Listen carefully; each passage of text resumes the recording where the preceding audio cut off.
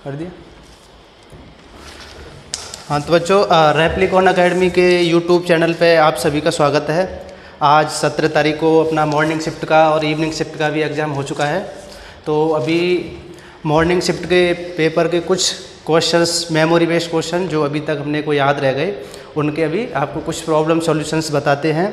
और अगर किसी क्वेश्चन का आंसर गलत भी लगता है आपको तो आप कमेंट बॉक्स में बता सकते हो, या कोई क्वेश्चन जो है हमारे पास नहीं आ पाया है, वो आप कमेंट बॉक्स में बता सकते हो।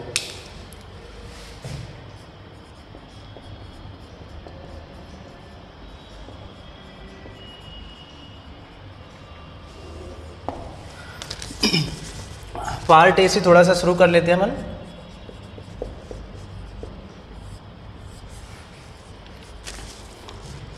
पार्ट ए में एक क्वेश्चन था जो कुछ इस तरह से था। टू की पावर ए मल्टीप्लाई था फाइव की पावर बी। बराबर कुछ दे रखा था आपको? कुछ नंबर दे रखा था यहाँ पे है ना? आ, कुछ 500 के लगभग था यहाँ पे। तो इसमें आपको पूछा था कि a प्लस बी जो है इसकी वैल्यू क्या होगी? तो आपको वैसे तो ये डायरेक्ट आप सॉल्व कर सकते थे जैसे आप सोच आ, उसमें आंसर दे जैसे टू थ्री फोर फाइव ऐसे दे रखा है। तो इसका जो आंसर होगा ये तो होगा कितना? ए प्लस बी बराबर दो और तीन पाँच हो जाएगा है ना? जैसे अगर आप टू की पावर टू लगाते हो इन टू फाइव की पावर थ्री लगाते हो तो ये तो हो जाएगा चार और ये हो जाएगा एक सौ पच्चीस। तो इस तरीके से ये आ जाएगा आपका फाइव हंड्रेड तो इसका आंसर जो भी है फाइव आएगा ना ऑप्शन के अकॉर्डिंग उसको देख लेना और। एक क्वेश्चन जो था,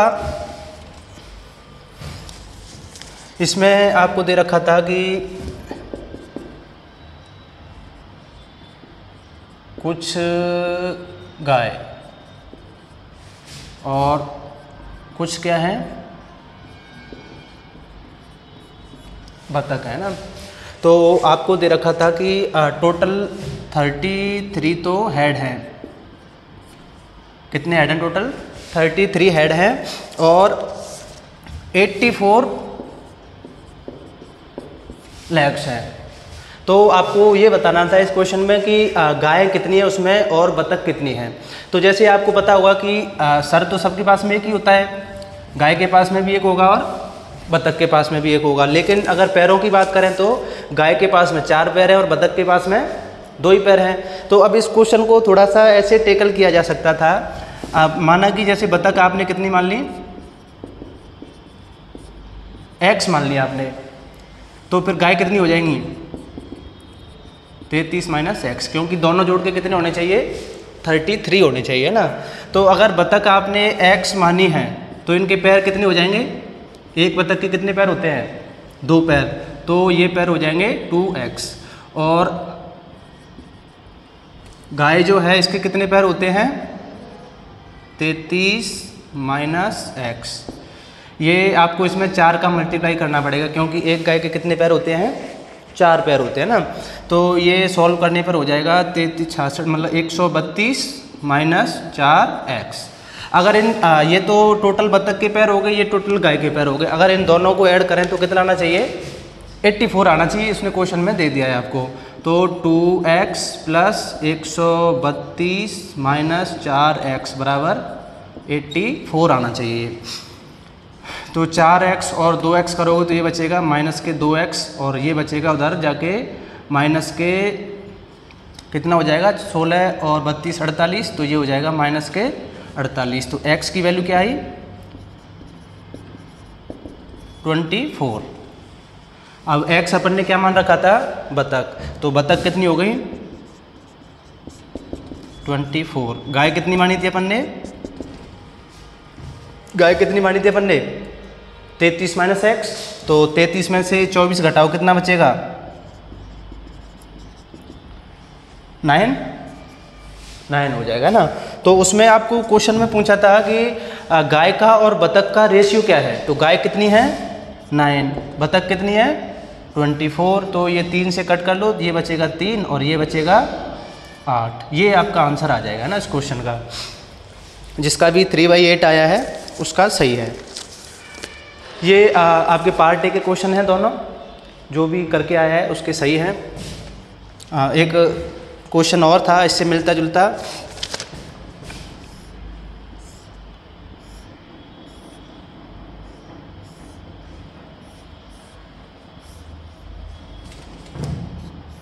ये क्वेश्चन था, यहाँ पे कुछ तीन पॉइंट दिए थे आपको। ये था एस वन पॉइंट यहाँ पे था एस टू पॉइंट और यहाँ पे था एस थ्री पॉइंट अगर इस इधर से पानी का फ्लो होता है तो आपको कुछ स्टेटमेंट दिए गए थे ऐसे ना। आपको दिया गया था कि एस वन पे वाटर का प्रेशर ज़्यादा होगा।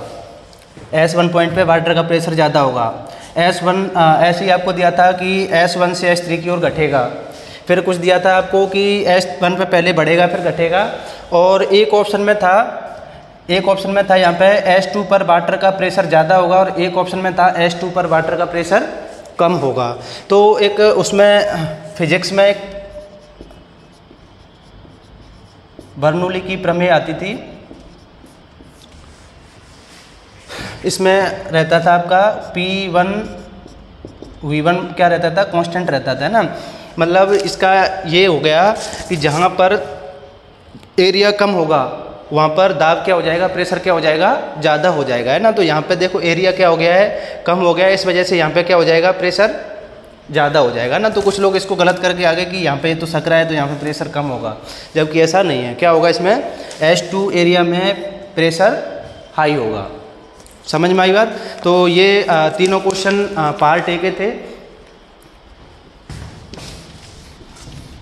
अगर आपको किसी क्वेश्चन के आंसर में मिस्टेक लगती है तो आप कमेंट बॉक्स में बता सकते हो। मैं अपनी तरफ़ से इनको रैंडमली कुछ भी नंबर दे देता हूँ ताकि आपको कोई दिक्कत आए तो आप क्वेश्चन के नंबर से, है ना, बता सको कमेंट में। एक था ट्रायंगल वाला। ट्रायंगल में आपको दे रखा था कि ये ट्रायंगल जो है, इसकी जो सबसे स्मॉलेस्ट साइड है, वो फाइव सेंटीमीटर की है। और बाकी की जो इसकी साइड है, वो समांतर श्रेणी में है। बाकी की जो साइड है, वो समांतर श्रेणी में है। समांतर श्रेणी का मतलब ये है कि अगर ये पाँच की है, एक साइड छोटी वाली तो बड़ी वाली छः की हो सकती है यहाँ सात की हो सकती है। अगर छोटी वाली पाँच की है, अगर इससे बड़ी वाली सात की है तो इससे बड़ी वाली कितने की हो जाएगी? नाइन की। मतलब अंतर जो है क्या रहना चाहिए? सेम रहना चाहिए ना? ऐसे अगर आप छोटी वाली फाइव की मान रहे हो, बड़ी वाली एट की मान रहे हो तो इससे बड़ी कितने की हो जाएगी? फाइव थ्री एट और एट थ्री इलेवन अगर आपने छोटी वाली पाँच ये मानिए नाइन तो नेक्स्ट वाली फाइव प्लस फोर नाइन और नाइन प्लस फोर थर्टीन होगा। पाँच सात नौ फाइव थ्री एट एलेवन नौ और चार तेरह हो गया। अगर आपने इसको माना है फाइव, इसको माना है टेन मानना पड़ेगा, फाइव प्लस फाइव टेन। अब नेक्स्ट क्या आएगा? फिफ्टीन। तो यहाँ तक आप देखते हो तो यहाँ तक जो है ये, यहाँ तक तो एक समांतर श्रेणी चल रही है, लेकिन यहाँ से अगर आप आगे जाते हो तो अब ये समांतर श्रेणी की बजाय अभी आपको लगने लगेगा कि एक गुणोत्तर श्रेणी बन गई है। जैसे ये था फाइव ऐड किया इसमें, अभी इसमें भी फाइव ऐड किया। लेकिन यहाँ से आगे जब आप चलोगे ना तो जैसे आपने किया फाइव यहाँ से आ जाएगा आगे इलेवन और यहाँ से आगे आ जाएगा सिक्सटीन तो अब आपको ऐसा लगने लग जाएगा कि ये एक गुणोत्तर श्रेणी बन गई है। तो अपने अकॉर्डिंग इसका आंसर जो है, या तो फाइव होना चाहिए मतलब एक, दो, तीन, चार, पाँच, या अगर फाइव नहीं है तो फिर क्या होगा इसका आंसर एक इनफाइनाइट होता है ना, उनमें से, दो में से होगा। या तो फाइव हो जाएगा फाइव नहीं माना है सही तो फिर इनफाइनाइट हो जाएगा। अगर वैसे तो ये जो है, गुणोत्तर श्रेणी होनी चाहिए। अगर इसको भी समांतर मान रखा है तो फिर आंसर इनफाइनाइट होगा। और बाकी फिर जो फाइनल आंसर की में है वो सही माना जाएगा।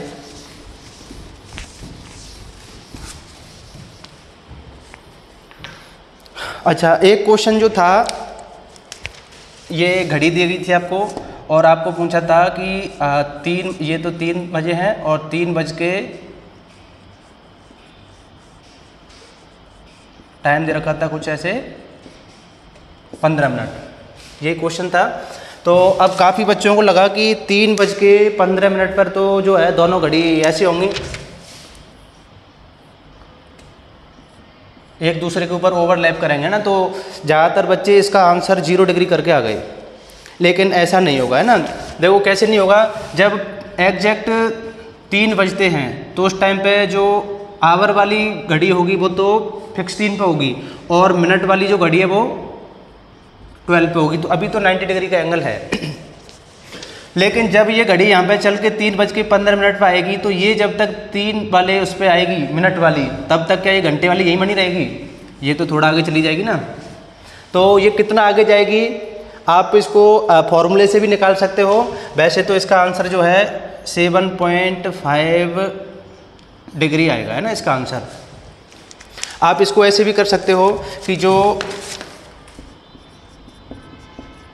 मिनट वाली सुई होती है, वो 60 मिनट में पूरा एक चक्कर लगा देती है।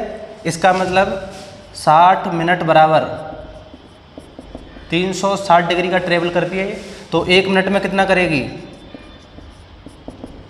360 बट्टे साठ बराबर कितना गया? Six degree. मतलब जो मिनट वाली सुई है, वो एक मिनट में सिक्स डिग्री ट्रेवल करती है ना। अच्छा अगर बात आवर वाली की करें तो? आवर वाली जो होती है आपको पता है यहाँ से यहाँ तक आने में इसको कितना टाइम लग जाता है? बारह घंटे लगते हैं, तीन सौ साठ। तीन सौ साठ डिग्री में कितने घंटे लगते हैं इसको? बारह घंटे लगते हैं। तो कितना आ गया ये? तीस डिग्री। मतलब एक आवर में कितना आ गया? तीस डिग्री का एंगल बनाएगी एक आवर में। तो अगर एक मिनट की बात करें तो एक आवर में आपको पता है साठ घंटे होते हैं। तो एक मिनट में कितना ट्रेवल करेगी ये आवर वाली सुई? तो तीस बट्टे कितना हो गया? One by two degree. अब देखो यहाँ से आप देख लो। अभी ये जो है ना, मिनट वाली सुई जो है अभी यहाँ पे है। तीन बजे पे है ना। पंद्रह मिनट में कितना ट्रेवल कर जाएगी ये? पंद्रह मिनट में कितना ट्रेवल करेगी? आवर वाली। यहाँ से देख लो। पंद्रह इंटू एक घंटे में कितना करती है? वन बाई टू तो से वन बाई टू करोगे तो कितना हो जाएगा? सेवन पॉइंट पाँच डिग्री क्योंकि वो जब तक यहाँ पे आएगी तीन बजे, तब तक वो कितना चली जाएगी आगे? सेवन पॉइंट पाँच डिग्री आगे चली जाएगी। तो इस वजह से जो एंगल क्रिएट होगा, वो ऐसे होगा। कौन सी ऊपर रहेगी? मिनट वाली या घंटे वाली? तो देखो, घंटे वाली तो थोड़ा सा नीचे आ जाएगी और मिनट वाली यहाँ पे आ जाएगी। तो ये जो एंगल बनेगा, ये कितना बनेगा? सेवन पॉइंट पाँच डिग्री का। तो ये थोड़ा सा गलत फहमी दिमाग में से निकालनी है कि तीन बज के पंद्रह मिनट पर दोनों सुई ओवरलैप करेंगे, है ना? तीन बज के पंद्रह मिनट पर ओवरलैपिंग नहीं होगी। नेक्स्ट क्वेश्चन था, आपको पूछा था, एक हेक्सागोन के सभी एंगल का टोटल सम कितना होगा?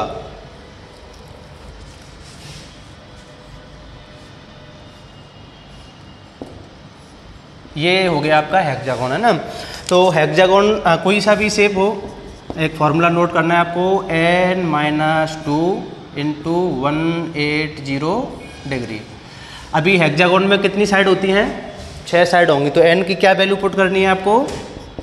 Six minus two one eight zero कितना हो गया? Four into one eight zero करोगे तो सेवन टू ज़ीरो डिग्री जो भी सेवन टू ज़ीरो डिग्री करके आया है, उसका आंसर सही है। ये हो गया आपका हेक्सागोन के सभी एंगल का सम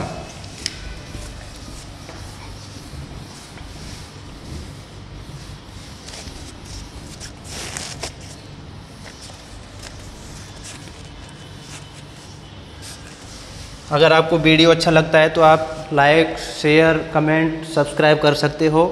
और अभी आप अपना कोई क्वेश्चन भेजना चाहते हो तो दिए गए नंबर पर व्हाट्सअप भी कर सकते हो। Seven eight nine one one two one two five three अगर किसी क्वेश्चन के आंसर में मिस्टेक लगती है तो वो भी एक्सेप्टेबल है ना?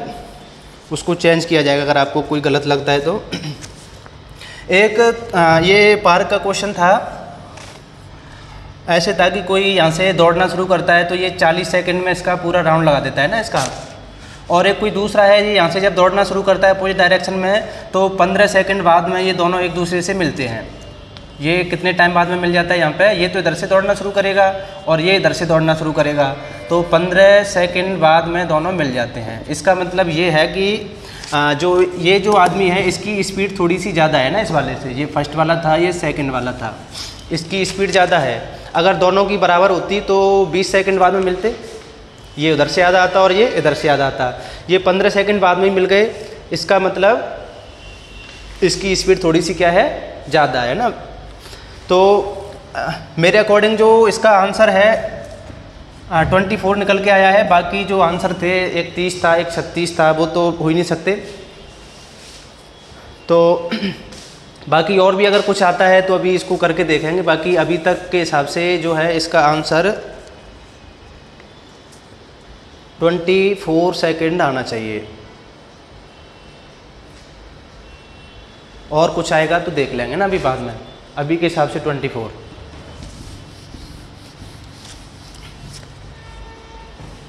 हाँ एक क्वेश्चन कुछ इस तरह से कहा था कि अगर स्पीड को बिल्कुल एक्यूरेट तरीके से लिखा जाए तो एक तो था ऐसे 125 किलोमीटर पर सेकंड कुछ ऐसे था। एक था 1.25 point two five into ten kilometre per second एक था 12.5 ये 100 था, ये था 12.5 पॉइंट पाँच into ten kilometre per second एक था 125.00 किलोमीटर पर सेकंड तो अभी मेरे हिसाब से इसका आंसर ये होना चाहिए 125.00 किलोमीटर पर सेकंड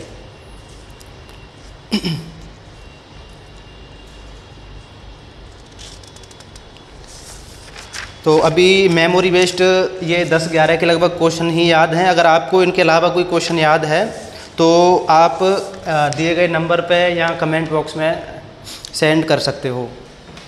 अभी थोड़ा सा ये पार्ट ए का था। अभी पार्ट बी पे चर्चा करेंगे नेक्स्ट वीडियो में।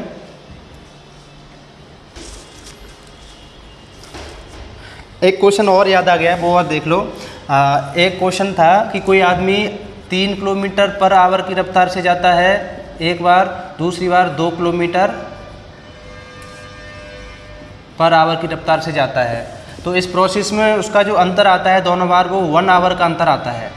कितना अंतर आता है? वन आवर का अंतर आता है। तो आपको बतानी थी कि मतलब वो कितनी डिस्टेंस ट्रेवल करता होगा। तो इसका जो आंसर था, ये तो था सिक्स किलोमीटर। जैसे आप करके भी देख सकते हो कि सिक्स किलोमीटर को अगर ये आदमी तीन किलोमीटर पर आवर से जाएगा, तब तो कितना टाइम लगेगा इसको? टू आवर अगर ये दो किलोमीटर पर आवर से जाएगा तो कितना टाइम लगेगा? थ्री आवर तो ये यहाँ दोनों में वन आवर का डिस्टेंस आ रहा है। इसका मतलब इसका आंसर जो है कितना होगा? सिक्स किलोमीटर होगा। तो अभी इतने क्वेश्चन अपने को याद हैं। बाकी अगर आपको याद है इसके अलावा तो आप भेज सकते हो ना? बाकी पार्ट बी और सी के लिए नेक्स्ट वीडियो में अभी अपना अपलोड करेंगे।